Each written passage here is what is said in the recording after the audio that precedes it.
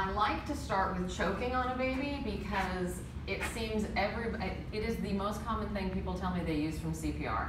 That instead of using CPR defibrillating, that people end up family gatherings, birthday parties, just stuff that children, particularly babies, choke on stuff. They put things in their mouth. So if baby's in her high chair and I very foolishly give her a raw carrot, which of course I should not do, and she's choking, I'm going to do more than just patting her on the back. I'm going to pick her up and I'm going to sit down, and hopefully you guys can see me. And instead of just patting her, I'm going to support her with my hand at her chin and my arm supporting her torso. Sorry. And then I'm going to tip her down on my leg. So my thigh is supporting my arm. Let gravity help me, and I'm going to use my hand and give her five back slaps, okay, to try and get that out. If it doesn't come out, now I'm turning over to my other arm, still supporting her head and neck with my arm in my hand, and my arm is supported on my thigh.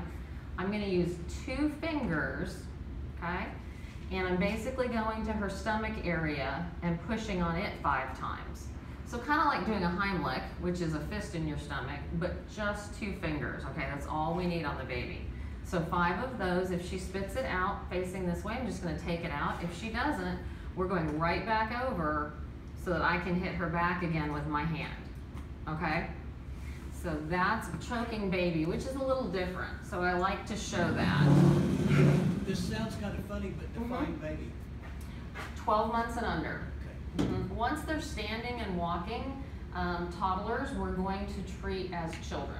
And we're gonna do the Heimlich maneuver where you come around and um, put a fist in the stomach and your other hand over it for adults and children, okay, for choking. Um, I'll do baby CPR for you because it is a little bit different, okay?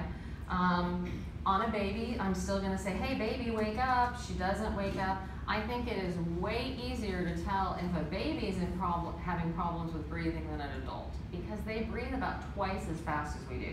You should be able to look at a baby and tell within five seconds if they're breathing or not because they should, they breathe about 20 to 25 times a minute. So she's not breathing and she's purple, okay? I'm not even gonna worry about checking a pulse because finding a pulse on a baby, we're not gonna do on the neck. We, we do it on their arm. But if she's not breathing, she's not moving, I need to start CPR on her. And what's different is I'm only gonna use two fingers to do CPR compressions on a baby, okay? And I just basically wanna go between her nipples on her sternum with two fingers.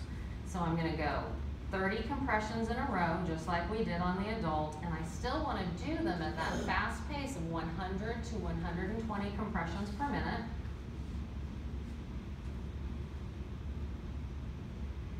And then after 30 compressions, I'm gonna lift her head, her chin up a little bit so that we open her airway and I'm gonna cover both her nose and mouth with my mouth and give her two breaths. So breath, breath, and then right back to 30 compressions. I like to leave my non-dominant hand on her forehead. It helps me when I need to give her breaths. And also this hand just kind of wants something to do. I've seen people do this before. Your, it's a crisis and we only need two fingers, but people tend to want to put their other hand, no, just two fingers. so that's why I suggest putting the hand on the forehead. And we would do that um, and have somebody call for help, okay? So two fingers only for baby compressions. Okay. Questions about saving baby? Yes, Tom? Uh, How many cycles of the patting on the back and then the compressions do till it comes out? Till it comes out, but if this becomes protracted, I mean, if you, if you're doing it five minutes and you don't get that out, it's time to call, have somebody call an ambulance. But, yeah, or until they stop, if they stop making any noise or go limp, then you know it's time to go to CPR. That they haven't had enough air and they've had a respiratory arrest. So, yeah. Usually you can get that out, but you know, children swallow everything from Legos to quarters. I get lots of stories about kids um, doing quarters, um, and then or candy or something like that. So, um, any other questions for me? Yeah. You talked about uh, reduced breaths for babies. How do you know that you're not putting too much in? Well, you just want to do, it no matter whether your victim is a baby, it could be a newborn, or it's a child, a grade schooler, or an adult. We're giving any victim just enough air to see the chest rise and fall, okay? So a little puff for a baby and a much bigger breath for an adult. And as I said earlier, on all ages, the most important thing is doing those compressions. If you're not comfortable with the breaths or you're worried your breaths aren't going in, that's not our key component. Our key component is pushing on the chest. We want to keep blood flowing. We want to um, get that blood circulating throughout the body. You know, on a, on a choking situation, if you give a breath, you're getting positive feed, or negative feedback of whether you've got a patent airway. Yes. So if you're blowing in, you're getting nothing, I mean, it- it's, you've got a blockage. yeah, yeah, So that breath is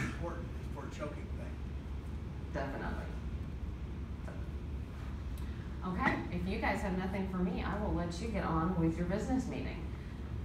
Tom, do you mind putting this back up? Okay. And this goes next to it. I will turn my mic off. Did I get everybody with the card? Do you need an extra? Yeah, one more. Suzanne? Yes, sir. We still do that here? Uh, you don't really do much on external Road.